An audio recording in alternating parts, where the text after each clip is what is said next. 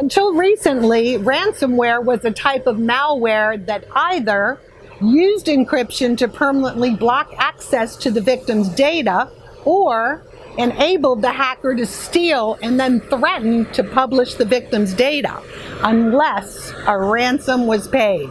Nowadays, it's just being used to do both. Hey, gotta get paid somehow.